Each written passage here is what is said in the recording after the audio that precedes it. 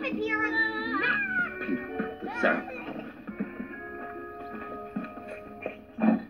Hey, good soldiers aren't scared of anything.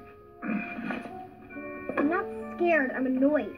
Ever since we heard Daddy say there was a ghost in the house, he puts on that blanket and chases me everywhere. It drives me crazy. Peter, have you seen this ghost?